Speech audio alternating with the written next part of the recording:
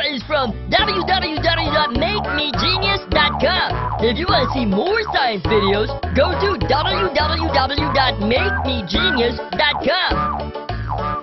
Oh, yeah, it is free.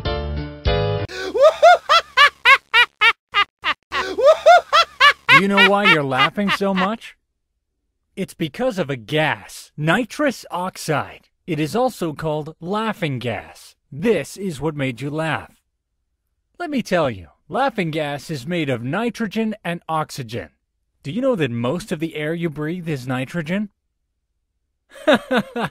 oh, you can breathe this nitrogen. It is not laughing gas. In fact, although the air around us is full of nitrogen, we can't use it directly. To get it into our bodies, nitrogen has to go through a nitrogen cycle. Understand?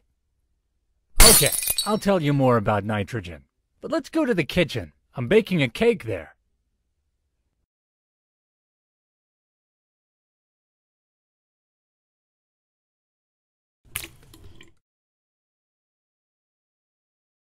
The cake isn't ready yet. We have to bake it first so that we can eat it. Nitrogen is just like this cake. Before we can use it, it needs to turn into other compounds. Did you know all living things need nitrogen to live? All of us, plants, animals, and humans, need nitrogen to make the proteins in our body. Plants also need it to make chlorophyll, the stuff that makes them green and helps them make food from sunlight. you really are hungry. But you gotta wait for the cake to bake. Just like nitrogen, which must be fixed for the plants to use.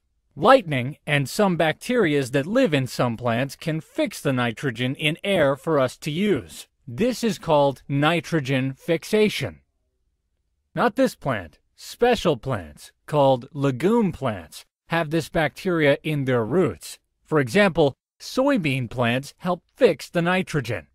The bacteria in soil turns nitrogen into ammonia and nitrates, which plants can then use to grow. Now you know how plants get their nitrogen. Can you guess how animals get their nitrogen? Yes, by eating plants. Animals get their nitrogen from the plants. Are you wondering about the nitrogen going inside your body?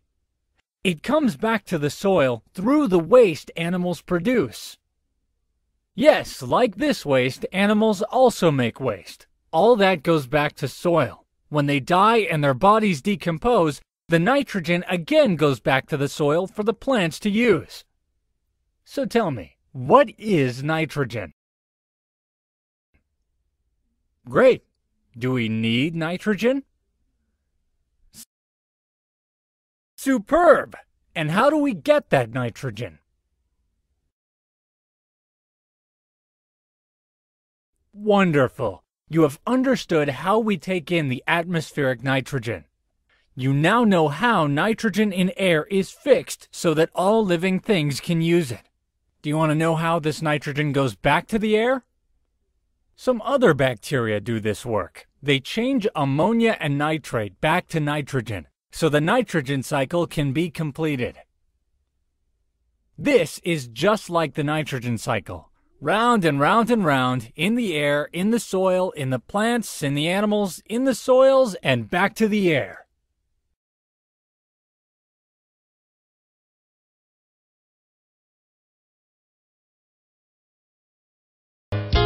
You're going to www.makemegenius.com for science videos. It also has lots of interesting facts and PowerPoint presentations for children.